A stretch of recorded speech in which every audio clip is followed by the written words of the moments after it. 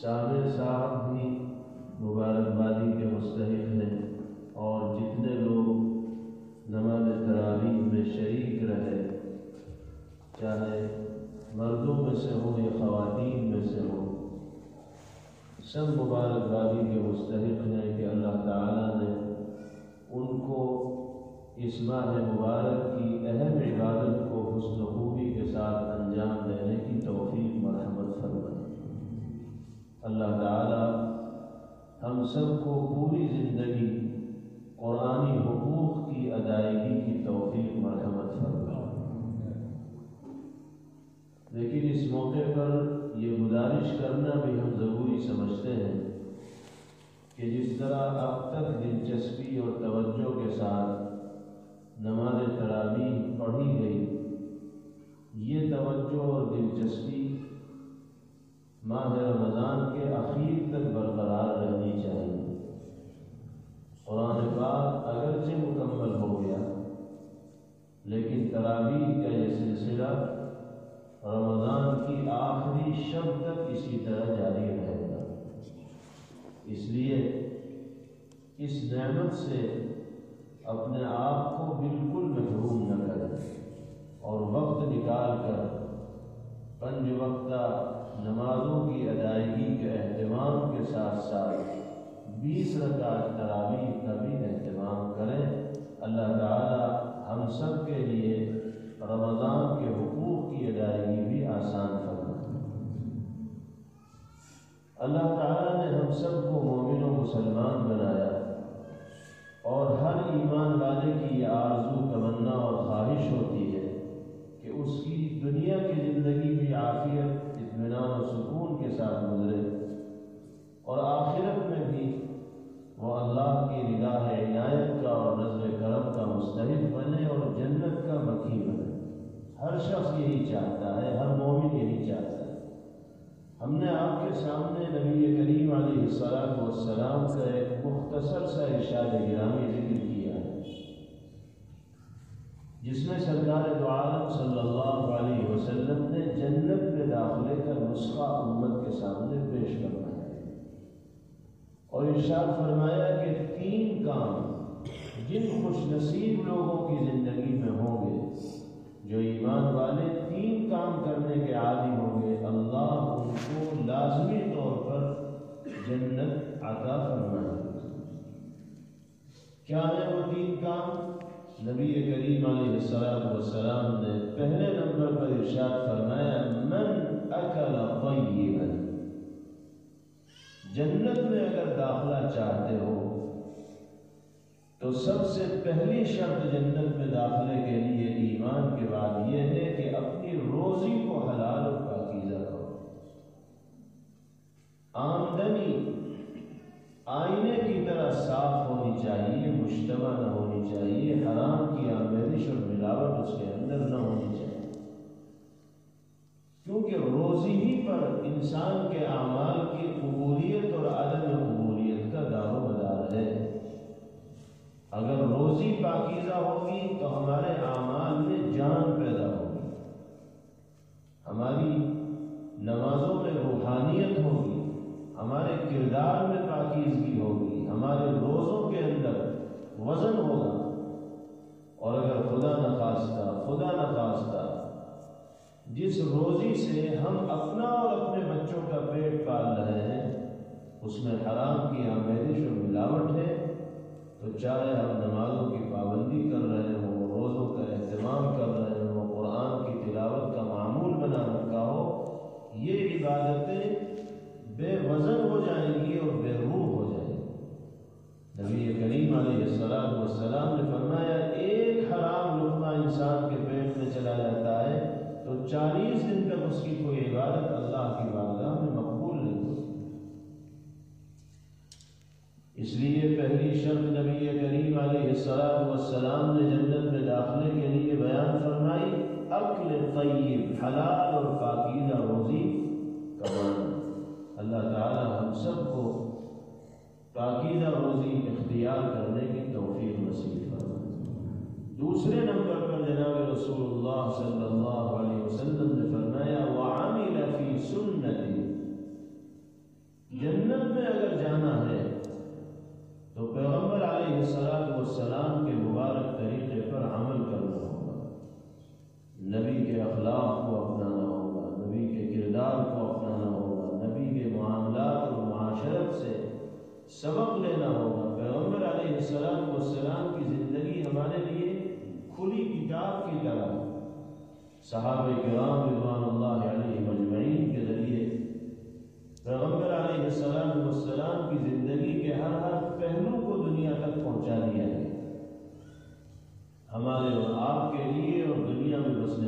انسانوں کے لیے جناب رسول اللہ صلی اللہ تعالی علیہ وسلم سے بہتر کوئی ذات ہو ہی نہیں سکتی جس کو آئیڈیل اور نمونہ بنایا جا سکے۔ سنتوں کو اگر ہم اپنی زندگی کے اندر زندہ کریں گے، پیغمبر علیہ السلام والسلام کے اخلاق و کردار کو اپنی زندگی کے اندر اجاگر کریں گے اور نمایاں کریں گے، تو جنت کا راستہ ہمارے اور آپ کے لیے آسان افسوس کے ساتھ کہنا پڑتا ہے کہ آج کے دور میں ہمارے سماج و معاشرے میں پیغمبر علیہ السلام والسلام کی مبارک سنتوں سے بیزاری کا ماحول عام ہے۔ اللہ کے حبیب صلی اللہ تعالی علیہ وسلم سے محبت کا تو ہم دم بھرتے ہیں، لیکن نبی پاک علیہ السلام والسلام کے اعمال و اخلاق و کردار کو اختیار کرنے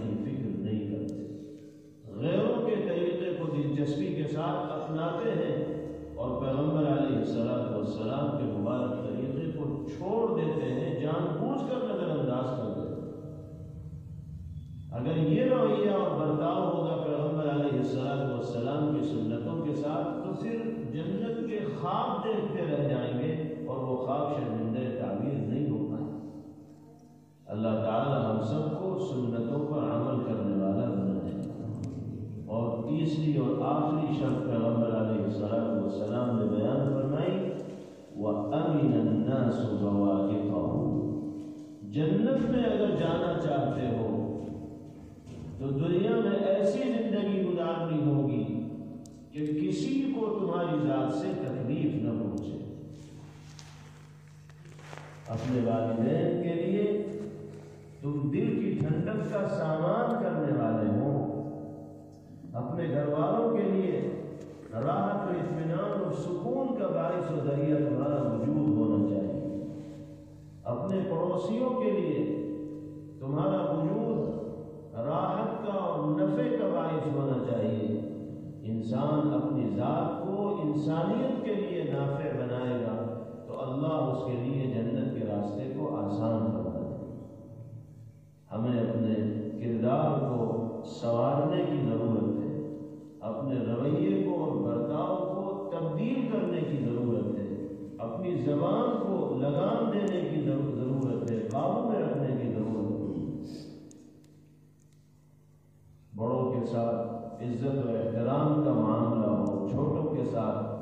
شفقت کا معاملہ ہو، جو جس حق کا مستحق ہے، اس کو وہ حق دیا جائے۔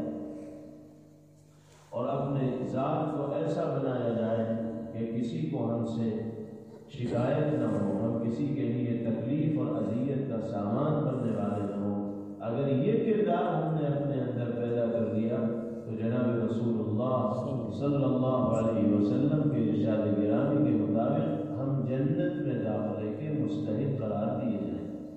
اللہ تعالی ہمیں روزی کو پاکیزہ بنانے کی توفیق عطا فرمائیں سنتوں پر عمل کرنے والا بنائیں اور اپنے کردار کو انسانیت کے لیے مفید بنا کر پیش کرنے کی توفیق باری تعالی ہم سب کو نصیب فرمائیں اور آج کی اس مجلس و محفل میں ہمارے اجتماع کو اللہ اپنی بارگاہ میں قبول فرمائے۔ وآخر دعوانا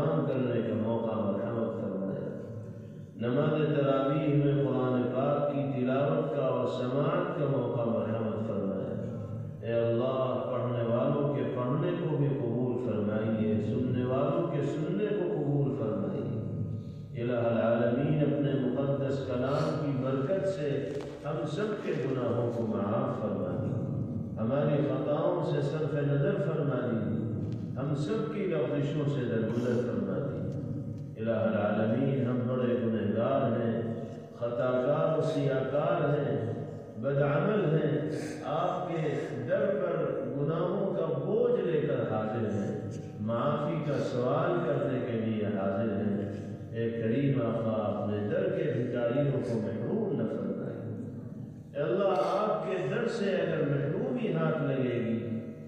کہاں سے ہماری امیدیں پوری ہوں گی اور کہاں جا کر ہم آس لگائیں گے اور کس در پہ جا کر سوال کریں گے؟ اے اللہ، ہمارے لیے تو آپ کے در کے سوا کوئی در نہیں۔ دینے والی ذات بھی آپ کی ہے، بخشنے والی ذات بھی آپ کی ہے، معاف کرنے والی ذات بھی آپ کی ہے۔ جو کچھ ملے گا آپ کے در سے ملے گا۔ اے اللہ، اپنے مقدس کلام کی برکت سے ہم سب کے دلوں کی دنیا بدل دی اے کریم آقا اگلے حلال کی توفیق ہمیں عطا فرمائیے، اپنے حبیب کی سنتوں پر عمل ہم سب کے لیے آسان فرمائیے۔ یا اللہ، ہمیں اپنے وجود کو انسانیت کے لیے نفع بخش بنانے کی توفیق مرحمت فرمائیے۔ اے اللہ، ہم سب کو عزت و عافیت اور سکون کی زندگی میسر فرمائیے۔ یا اللہ، ہر طرح کی دقتوں سے، الجھنوں سے، پریشانیوں سے ہم سب کی حفاظت فرمائیے۔ اس مجلس میں موجود مردوں اور عورتوں کے دلوں میں جو تمنائیں ہیں آرزویں ہیں، آپ سب سے اچھی طرح واقف و باخبر ہیں۔ اے اللہ، اس مجلس کی برکت سے سب کی جائز تمناؤں اور مرادوں کی تکمیل فرما دیں جو جس طرح کے مسئلے کا شکار ہو، جو جس طرح کی الجھن اور دقت میں مبتلا ہو، اپنے کرم سے الہ العالمین اس کو نجات عطا اے اللہ ہر خیر سے مالا مال فرمائے ہر شر سے حفاظت فرمائے اس ماہ مبارک کی قدردانی کی توفیق مرحمت فرمائے اس کے لمحات کو وصول کرنے کی توفیق عطا فرمائے اے اللہ، ہم میں اور ہمارے متعلقین میں، اہل خانہ میں، چھوٹوں اور بڑوں میں، جو بیمار ہوں، سب کو مکمل شفا اور صحت کی دولت سے آپ ہی شافی مطلق ہیں آپ کے سوا کوئی مرض کا ازالہ نہیں کر سکتا، بیماری کو دور نہیں کر سکتا۔ دوائیں بھی اسی وقت اثر انداز ہوتی ہیں جب آپ کا حکم ہوتا ہے۔ آپ چاہیں تو لا علاج بیماروں کو لمحوں میں شفا یاب کر سکتے ہیں۔ اے اللہ، اپنی قدرت کا کرشمہ دکھا دیجیے اور امت کے بیماروں کو صحت عطا فرمائے۔ ہم سب کو ہر طرح کے مہلک اور موزی امراض سے ہمارے مرحومین کی مغفرت فرمائے یا اللہ، پریشان حال لوگوں کی پریشانیوں کو دور فرمائے جو مقروض ہیں، ان کو قرض کے بوجھ سے سبک دوش فرمائے جو ناجائز مقدمات میں محفوظ ہیں، ان کو باعزت مقدمے سے بری فرمائیے جو والدین اپنے بچوں کے رشتوں کے سلسلے میں فکر مند ہے ان کے لیے بہتر مناسب اور دینی